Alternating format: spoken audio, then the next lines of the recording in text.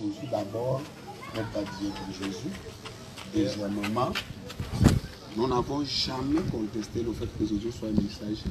Il faudrait que vous sachiez ça parce qu'on ne va pas commencer à parler contre un fait. Nous tous ici qui sommes assis, nous reconnaissons que Jésus est messager. Ce n'est pas parce qu'il est messager que ça exclut qu'il soit fils de Dieu. Malheureusement, vous n'êtes pas d'accord. Donc, bienvenue, merci. Et nous, comme a dit un jour en français, à tout Seigneur, tout honneur, vous venez de loin quand vous parlez de, du panda, ça veut dire que vous venez de bien des kilomètres. Nous souhaiterions d'abord nous attendre. Est-ce qu'on est d'accord qu'on parle du salut Est-ce qu'on est d'accord qu'on parle de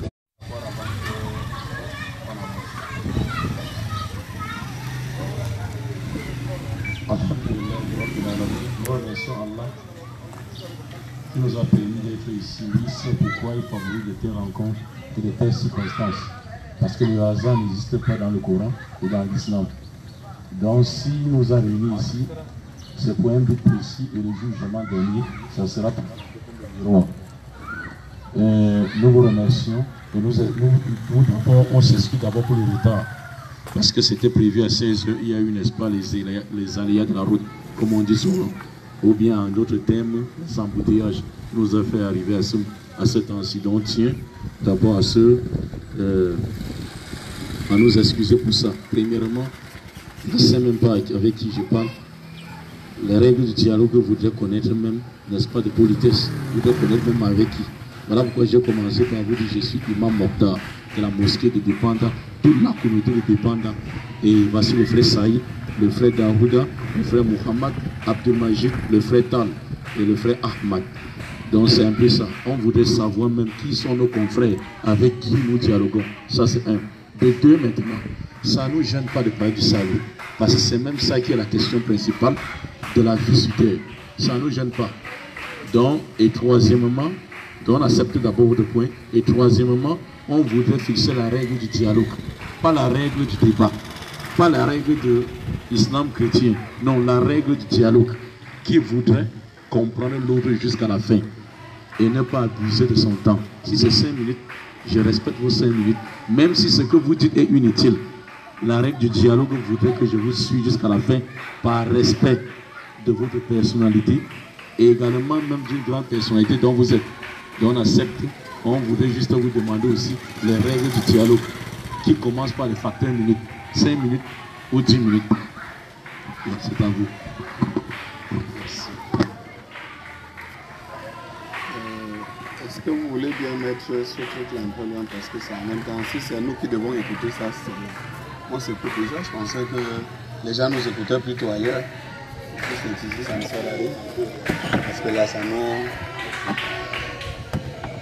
Mettez ça à mon bout là-bas. De toute façon, on va vous les rassurez-vous.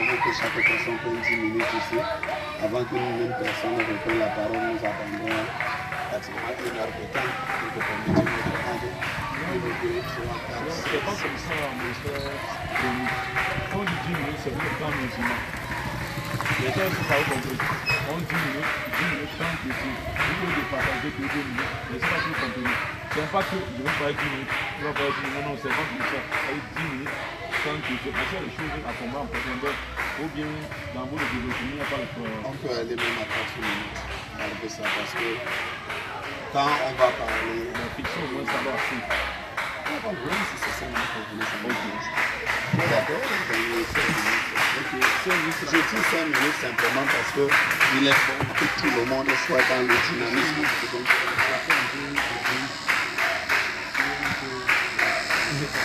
C'est hein. Écoutez, hein, je, je suis. Non, je ne peux pas. Vous savez pourquoi C'est pas que je ne peux pas dans la vie, je ne veux pas parce que ce sera pas poli. On a pris un rendez-vous, on vous a rencontré hier. Et ils ont- elles elles ont une réunion depuis programmée beaucoup plus tôt que nous. Bon, maintenant, je ne sais pas à qui je devais avoir affaire aujourd'hui, donc je vous découvre quand vous arrivez avec vos modalités. C'est-à-dire que si ce n'est que ça, c'est- ça ne me dérange pas de parler au microphone, je veux dire qu'on peut parler mille heures quand vous nous pose aucun problème. Maintenant, la seule chose qui va peut-être vous déranger, c'est que comme vous avez votre microphone et tout, mais on s'écoute. On s'écoute. C'est ça pour que, pour que ça renvoie un peu le son. Parce que. On Hein? s'écoute. euh, Non. Monsieur Rémi, on vous écoute. Euh, on vous écoute. Parce que c'est vous qui nous avez invités, n'est-ce pas? On, on estime que vous nous avez invités à suivre le salut dont vous, vous prétendez détenir. Parce que nous disons, je ne vais pas commencer déjà, je veux que vous commenciez. Comment obtenir le salut selon vous? On est désolé. On va y revenir très rapidement. Pourquoi? Je vous ai dit tout à l'heure, mon frère est serviteur de Dieu. Ah, apporte. Mon frère et serviteur de Dieu vous a rencontré hier. Et c'est allumé. mon frère et serviteur de Dieu vous a rencontré hier, Maurice vous a rencontré hier. Et vous parliez, je ne sais pas lequel il a écouté, hein, mais vous parliez d'un certain nombre de choses. Si j'ouvre la Bible, et on va y peut-être arriver, la Bible nous dit que Paul, dans le livre des Actes des Apôtres, au chapitre 17 notamment, était arrivé dans la ville d'Athènes, qui est la capitale de la Grèce. Et là-bas, il a commencé à prêcher l'évangile aux populations qu'il rencontrait. Et il y a un certain nombre de personnes qui avaient écouté Paul parler. On l'a pris, Paul, on l'a mené à l'aéropage pour qu'il expose un peu plus dans le détail les choses qu'il était en train d'enseigner partout dans la ville.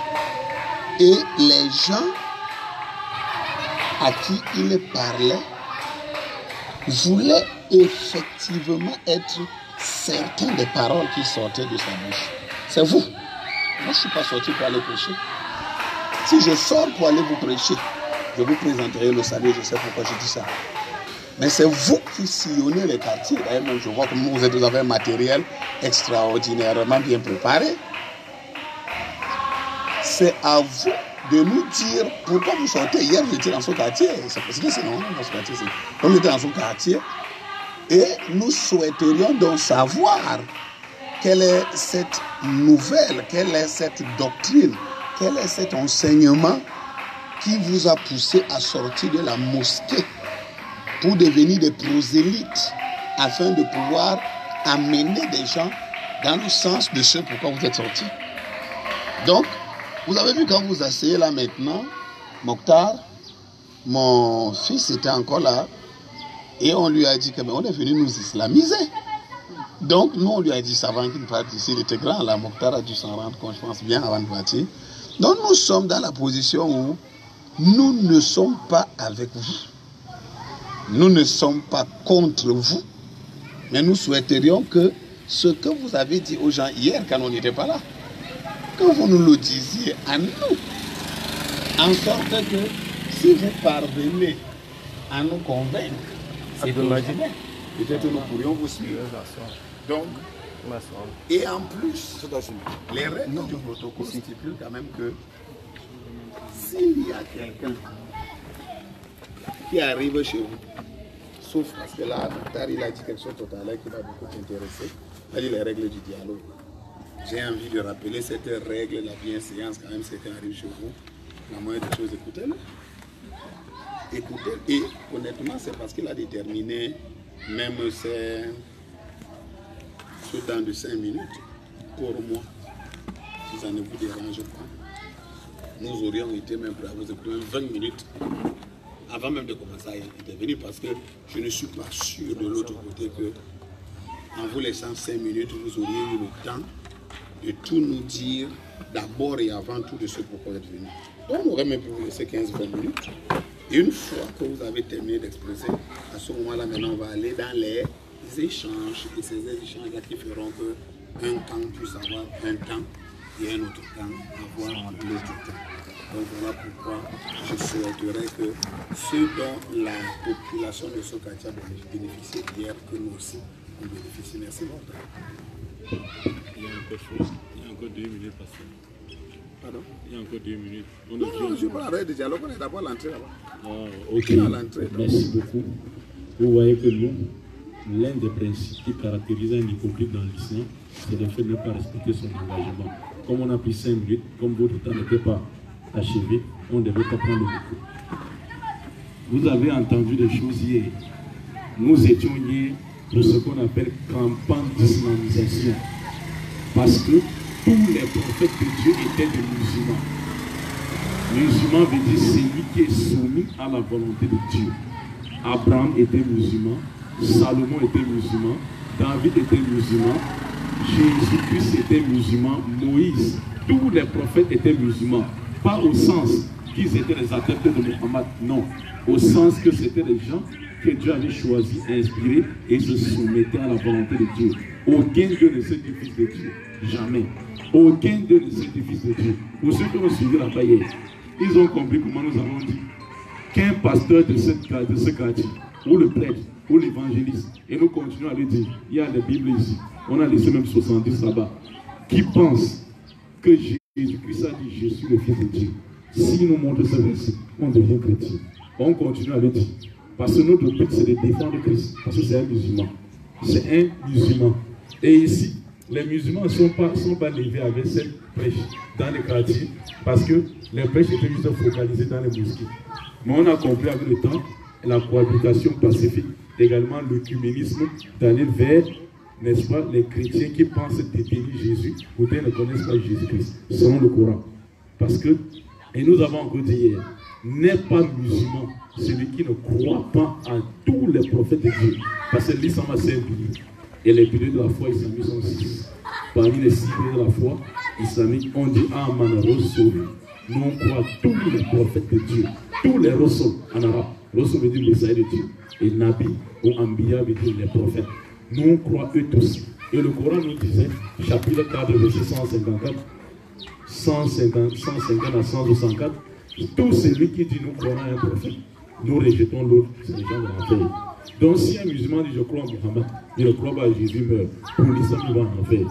Si un musulman dit je crois à Jésus sans croire en Mohammed, il meurt, il va en enfer. Si un musulman préfère un prophète par rapport à l'autre, il meurt, il va en enfer. Allah dit tous sont au même pied d'égalité. Et le prophète Jésus-Christ, la même chose il avait dit aux Juifs dans Jean chapitre 15, 22 à 23. Si je n'étais pas venu et que je ne vous ai pas parlé, vous n'aurez pas de péché. Maintenant, comme je suis venu, je vous ai parlé, vous avez refusé de croire en moi. Sous prétexte qu'il croit en Moïse et ne croit pas à lui. C'est fini, vous êtes jugé. Donc il est de droit des croyants, n'est-ce pas, de croire au prophète qui vient remplacer l'autre. Parce que si tu crois à l'autre prophète, tu crois Dieu qui a envoyé celui-là, c'est le même Dieu qui a envoyé celui-ci. Comment tu vas dire, je ne crois pas à celui-ci, alors que c'est le même Dieu, le même Dieu qui a envoyé celui dont tu crois, et le même Dieu qui a envoyé celui-ci Non. Et le prophète Mohammed répète la même chose. Je jure par celui d'entre eux qui repose mon âme. Un juif ou un chrétien entend parler de moi, il meurt, il ne me suit pas, il va en enfer.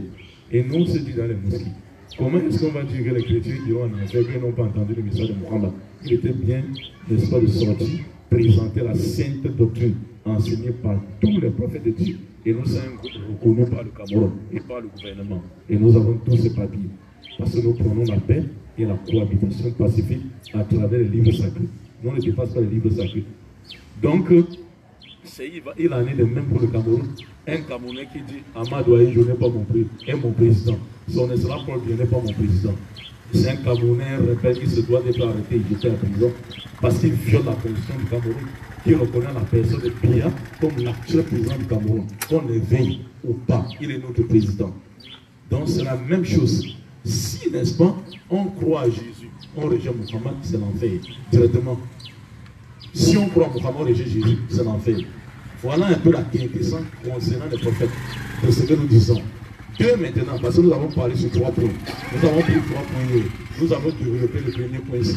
Donc je vous ai fait la quintessence. Deuxième point, nous avons dit que Jésus ne mourrait pas sur la croix pour sauver nos péchés. Ça n'existe dans aucune Bible. Jésus n'a jamais dit dans aucune Bible, croyez à ma mort pour avoir la vie éternelle. Ça n'existe pas.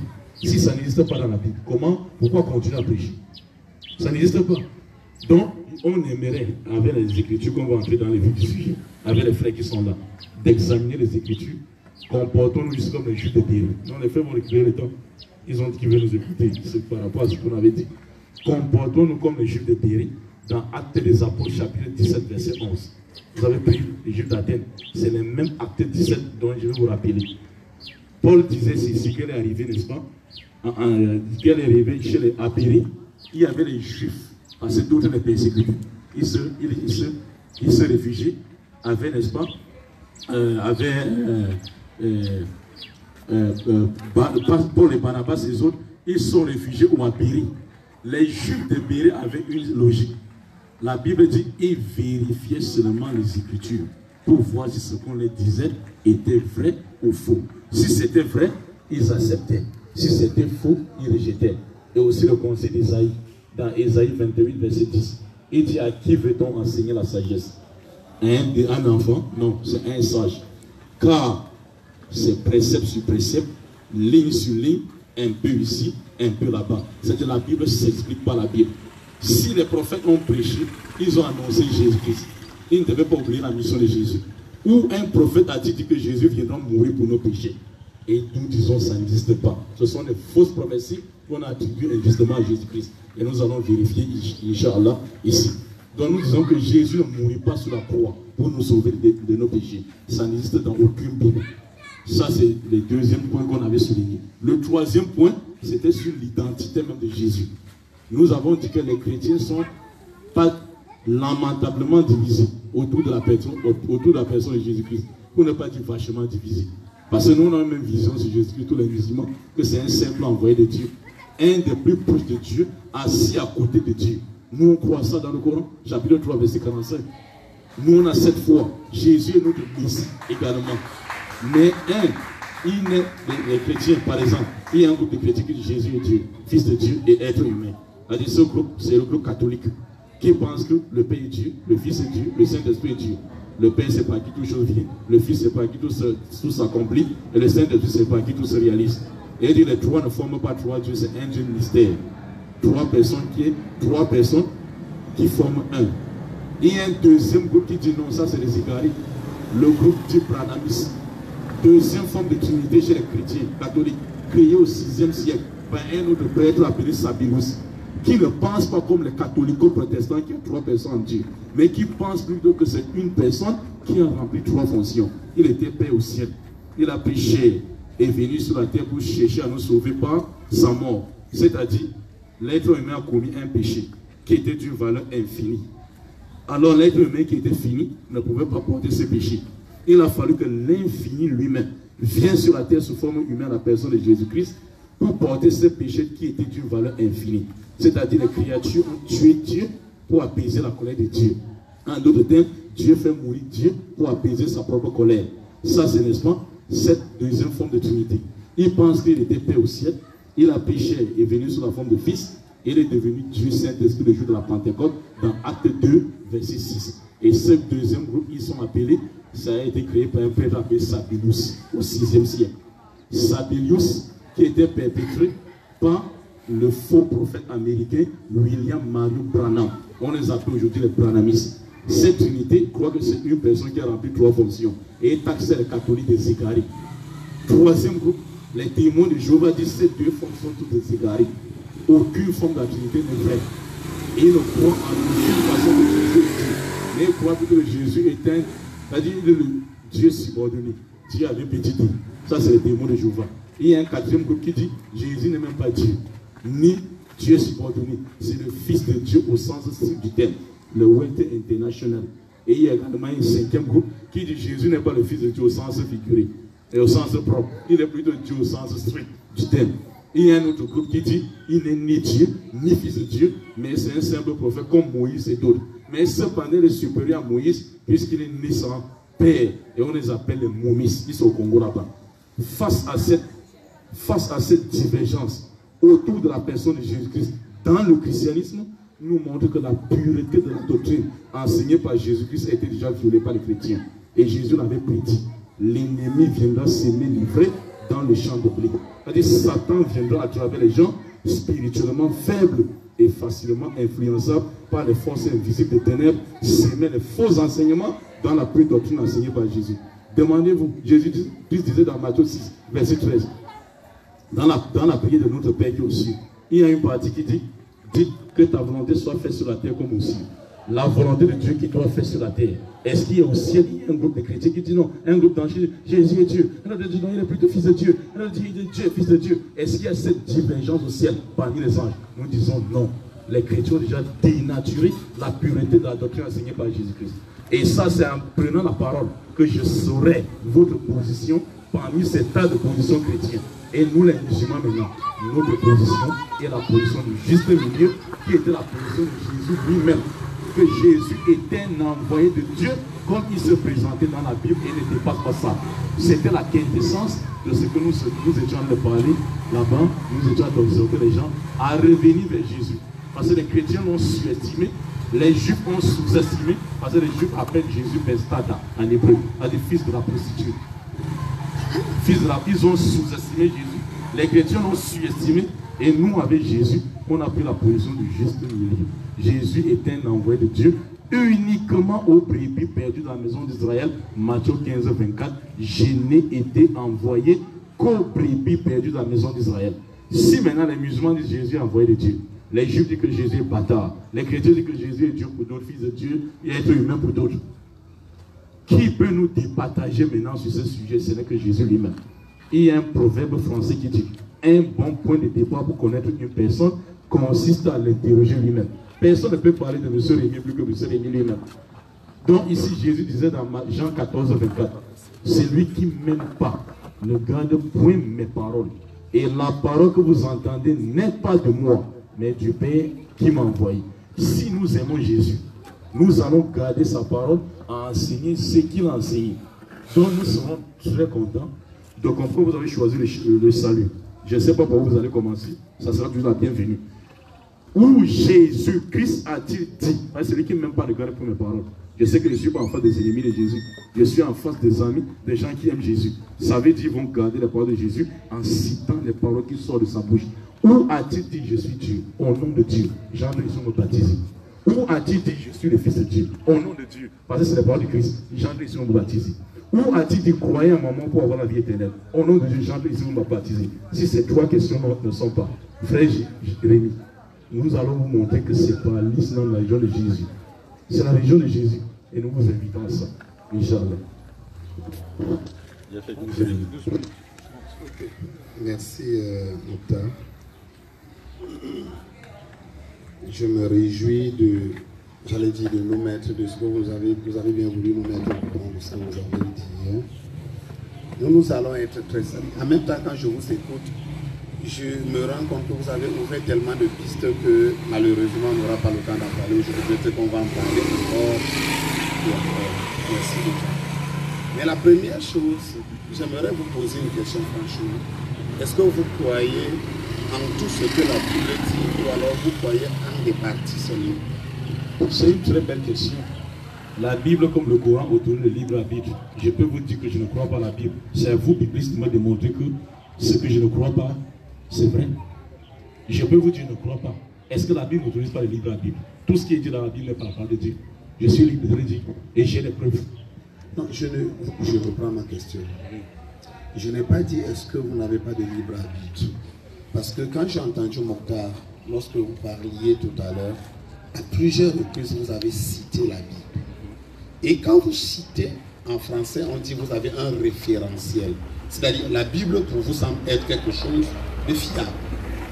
Je reprends. Lorsque vous demandez, montrez-moi là où Jésus a dit, et je crois, ça veut dire que vous légitimer que la Bible est un référentiel qui est digne d'être accepté. Si vous me dites que vous y croyez, on continue. Vous dites que vous n'y croyez pas, vraiment exprimez votre libre arbitre. Dans ce cas, on arrête. Je ne veux pas que vous arrêtiez. Parce que là, voici la réponse. On avait oublié même de dire ça là-bas. Ça nous permet même de nous déballer et dire aujourd'hui que toute la Bible de la Genèse à l'Apocalypse n'est pas la parole de Dieu. Mais elle contient, suivez, je n'ai pas fini. Je n'ai pas fini. Parce que le roi Salomon disait dans Proverbe 18, 13, insensé l'homme qui répond avant d'écouter, il fait acte de folie, ça tire la confusion. Et si je dis ceci, je n'ai pas fini. La Bible de la Genèse à l'Apocalypse n'a jamais été la parole de Dieu. Mais elle contient des paroles de Dieu. Ça veut dire quoi? La Bible est écrite par 40 auteurs d'une durée de 3000 ans. Parmi ces 40 auteurs, il y a des gens qui ont été inspirés. Nous croyons. Il y a des gens qui ne furent pas inspirés. C'est-à-dire les gens sains. Par exemple, Luc, c'est un médecin qui a fait ses recherches. Luc 1.1, plusieurs ayants d'entreprise de composer des récits des événements qui sont passés avant. Moi, il m'a semblé bon après avoir fait mes recherches. Il n'a pas le Saint-Esprit. Dit qu'il a fait ses recherches. C'est lui qui a le Saint-Esprit ne fait pas de recherches. Il est inspiré. Donc il dit, il y a aussi Paul dans 2 Timothée 4, verset 13, qui dit à son élève, quand tu seras de retour, pas chez mon ami Trosse de Caprice, récupère mon pull vert ou mon manteau, selon d'autres traductions, et mes parchemins ou mes documents que j'ai laissés chez lui, tu me les apportes. Qu'est-ce que prendre son pull vert pour se couvrir contre le froid Et les livres pour s'instruire viennent faire dans la parole de Dieu. Ça, c'est la parole donc. Nous disons, ce n'est pas la parole de Dieu. Voilà pourquoi nous disons que toute la Bible n'est pas la parole de Dieu. Mais ça contient des paroles de Dieu, puisque les prophètes parlent, c'est vrai. Les hommes inspirés parlent, c'est vrai. Dieu lui-même parle, c'est vrai. Ce qui est la parole d'homme, nous disons que c'est l'homme. Par exemple, je vais chuter ici. Par exemple, quand vous prenez 1 Samuel 13, dans votre Bible, si les frères, les frères qui ont leur Bible peuvent ouvrir. 1 Samuel chapitre 13, verset 1. Samuel, Saoul plutôt, était âgé de point, point, point 1. C'est une erreur connue dans toute la Bible. Saoul était âgé de point, point, point 1. Qui a oublié là de Saoul Et c'est Dieu.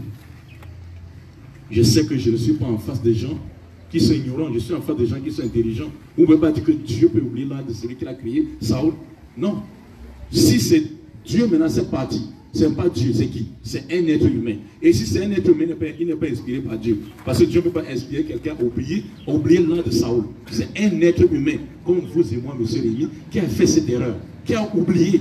Et par, après, par rapport à ça, nous avons la Même, ça, même si c'était ça, qui était seulement une erreur, ça peut plus être sainte. Mais nous croyons qu'il y a les paroles de Dieu dedans. Merci. Alors, je me rends compte que vous allez beaucoup jouer et je n'ai pas envie de vous suivre là-dedans. Premièrement, la Bible n'a pas été écrite par sur 3000 ans. Vous vous trompez largement, mais je vous le concède. Deuxièmement, le procédé par lequel les versions de la Bible que nous avons eues est passé par beaucoup de copistes. Et c'est parce qu'à un moment donné, les copistes ont fait des erreurs qu'on a préféré supprimer l'âge pour qu'il n'y ait pas des atermoiements. Ce n'est pas parce que le message n'est pas de Dieu. Troisièmement, le même Luc qui n'est pas inspiré selon vous a quand même écrit Acte des Apôtres chapitre 17 verset 11 parlant des Béréens que vous avez cité tout à l'heure avec beaucoup de délectation. Vous savez qu'un coup, et c'est ce que je voulais vous démontrer tout à l'heure, Luc semble être excellent et important, j'allais dire nommer, parce que peut-être vous avez oublié que Luc, le médecin qui a écrit Luc, est aussi celui qui a écrit Acte des Apôtres, mais ça vous a semblé très important de le citer quand ça vous plaît, et de ne pas le citer quand ça ne vous plaît pas, parce que là, il n'a pas le Saint-Esprit. Alors, je me rends compte que vous avez une appréciation à géométrie très variable.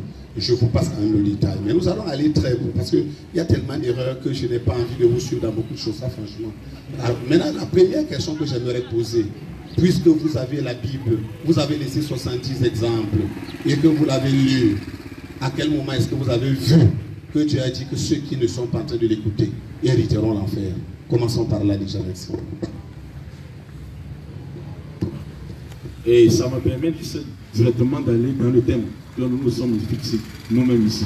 Nous avons dit ici, nous avions dit ici quand on commençait qu'on devait parler du salut. Si la racine d'un arbre est pourrie, même les branches seront pourries, comme Jésus disait dans Matthieu chapitre 7. Jésus-Christ dit tout bon arbre produit de bons fruits et tout mauvais arbre doit toujours produire de mauvais fruits. Et au verset 21 23, il dit Ce jour, pas le danger, la question que vous avez posée, Beaucoup diront, n'avons-nous pas prophétisé à ton nom? N'avons-nous pas chassé les démons à ton nom? Quand vous promenez là, avez-vous déjà entendu un musulman dire démon sort de ce corps au nom de Jésus? C'est les pasteurs qui crient au nom de Jésus. C'est eux que Jésus diront sortez, je ne vous ai jamais connus. Jésus ne les connaît pas parce qu'ils prêchent l'évangile qui ne vient ni de Jésus ni de Pierre, le chef des disciples des Juifs, ni de Paul, le chef des disciples des païens. Nous disons même que si vous dites, nous par exemple, nous les musulmans, la seule chose qu'on reproche à Paul, c'est une seule chose. L'effet de dire que Jésus est mort sur la croix parce qu'il n'y avait pas de témoin oculaire. C'est pour ça qu'il est tombé dans cette erreur. Mais nous disons que Paul n'a jamais dit que Jésus est Dieu. Paul n'a jamais appelé Jésus fils de Dieu au sens que vous comprenez. Jamais de la vie. Vous ne trouverez pas un épître où il a dit ça. Où un épître où il a dit que Jésus est Dieu. Non, Paul n'a jamais dit ça. Et vous ne pouvez pas être intelligent plus que l'apôtre Pierre, à qui Jésus a remis les, les clés du royaume, et Paul, et également, qui est l'apôtre des païens. Vous ne pouvez pas être intelligent que eux. Donc nous disons ceci. Tout c'est lui, le salut quand au, au jardin d'Éden. Là, il faut croire. Ça, c'est votre dogme. À, la, à la prétendue. Nous disons prétendu mort de Jésus sur la croix pour avoir la vie éternelle. Or, cette doctrine ne vient pas de Dieu ne châtie jamais un innocent pour le rachat des péchés de coupables. Jamais de la vie. Ce verset n'existe pas. Dieu dit dans Deutéronome 24, verset 16, on ne fera point mourir les pères pour les fils. On ne fera point mourir les fils pour les pères. On fera mourir chacun pour son propre péché. Et les enfants d'Israël avaient les mêmes proverbes que les chrétiens. Dans Ézéchiel 18, verset 2, les parents mangé les raisins verts et les dents des enfants étaient agacées. Dieu dit, je ne veux plus entendre ce proverbe au milieu de vous. L'âme du Père m'appartient comme l'âme du Fils. Si le Fils abandonne la méchanceté, même si son Père était un mécréant, il vivra. Le verset 18, il dit, il dit maintenant, Dieu dit maintenant au verset 18 à 20. Nous sommes dans Ézéchiel 18, verset 18 à 20. Il dit, un père ne supportera pas le poids de la faute de son fils. Un fils ne supportera pas le poids de la faute de son père. La justice du juste sera sur lui et la méchanceté du méchant sera sur lui. L'âme qui pêche, c'est elle qui mourra. C'est absurde que le même Dieu que nous croyons, et aussi dans le courant, vienne prendre un innocent le châtier à la place de coupable. Jésus-Christ n'a jamais voulu mourir sur la croix, jamais. Vous allez voir même dans la Bible, quand l'heure est arrivée, il a dit Sauve-moi de cette heure. Et si vous dites que Dieu l'a pas écouté, ça veut dire que la volonté de Jésus n'était pas la volonté de Dieu. Et là, ça va contredire Jésus-Christ totalement, même dans ses enseignements dans Matthieu 7. Il dit Qui parmi vous peut-il donner à son, son fils hein, du caillou si celui-ci lui demande du pain?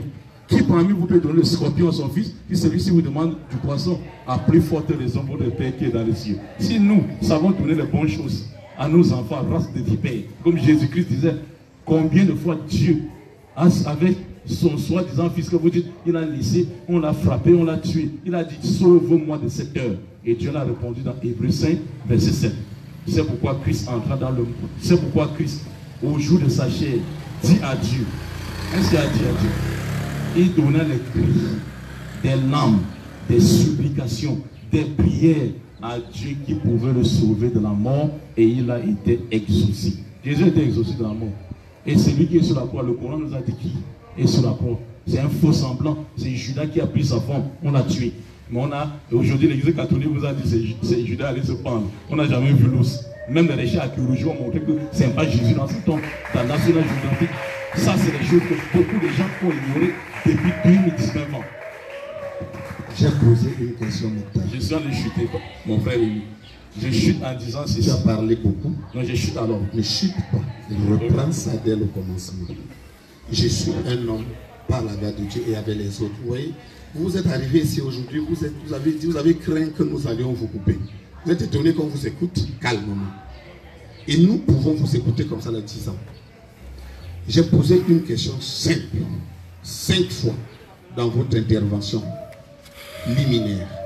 Vous avez dit enfer, enfer et encore enfer. Est-ce que vous pouvez prendre dans l'une de vos multiples Bibles avec lesquelles vous êtes venus, parce que vous m'avez dit que vous en avez laissé 70 même là-bas, pour montrer à quel niveau vous avez une longue manche en termes de Bible.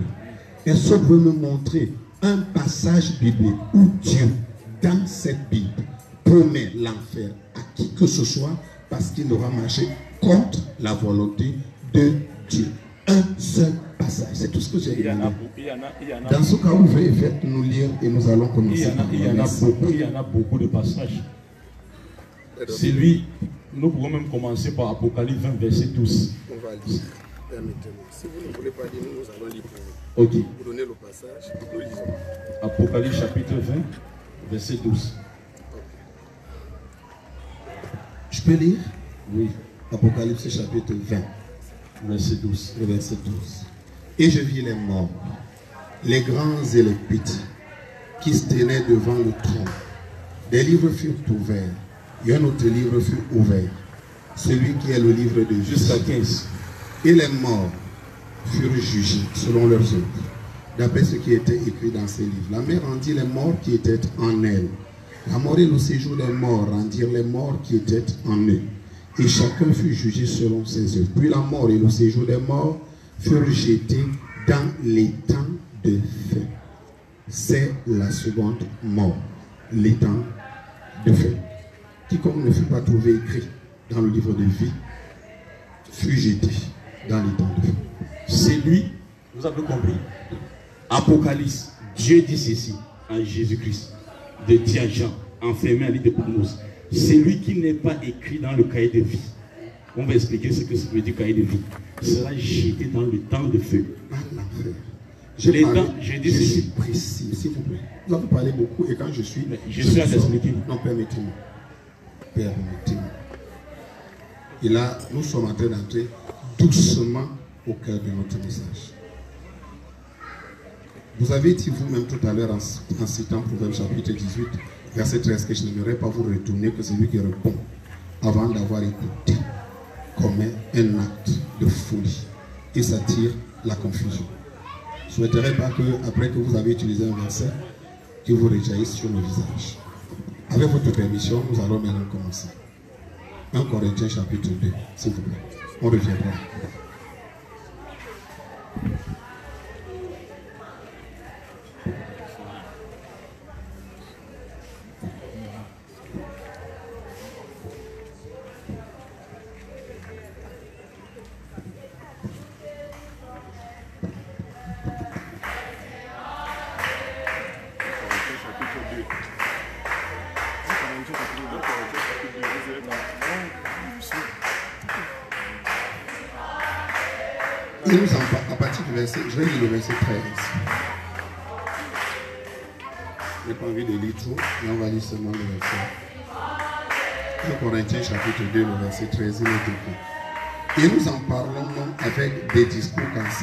Sagesse humaine.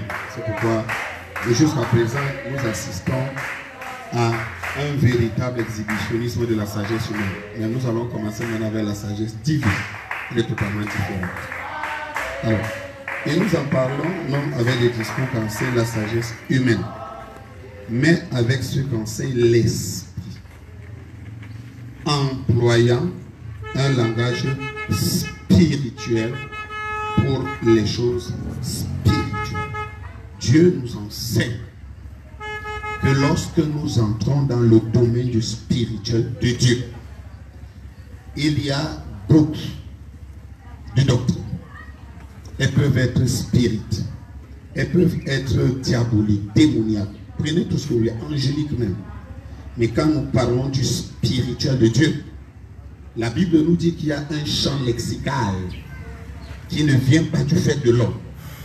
Il vient de l'inspiration même de Dieu.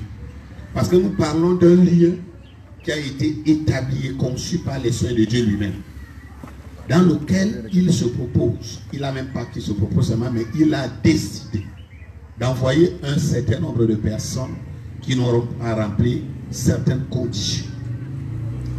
Alors, je souhaiterais qu'il soit connu, reconnu et parfaitement établi dans vos cœurs que vous utilisez un champ lexical qui n'est pas de Dieu.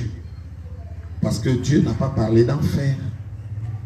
Et les catholiques que vous semblez attaquer sont les inventeurs personnels même de ce concept de l'enfer auquel vous avez parfaitement donné votre main d'association. Parce que les premières personnes qui ont parlé d'enfer sont les catholiques. Cet enfer qui est un terme qui vient totalement de la mythologie d'abord grecque. D'ailleurs, d'entrée de jeu, parce que vous avez tellement parlé que je vous ai dit, je peux vous écouter, vous avez dit que vous venez dans un esprit de paix, du moins de pacification et d'écuménisme. Un autre terme qui est propre au catholicisme dans la Bible et qui est tellement une horreur. Je vous ai dit qu'il y a tellement de choses que si je commence à chaque virgule, on ne va pas avancer. Donc, je souhaiterais que vous établissiez vous-même que votre lieu de souffrance, votre lieu de jugement, Demandez-moi plutôt quel est le sens. L'enfer, le, le mot enfer n'est pas dans la Bible. Non, ce n'est pas dans la Bible. Mais le sens du mot enfer est dans la Bible. Que veut dire enfer merci mon père. Je vais faire la honte nationale et vous allez faire la fierté nationale.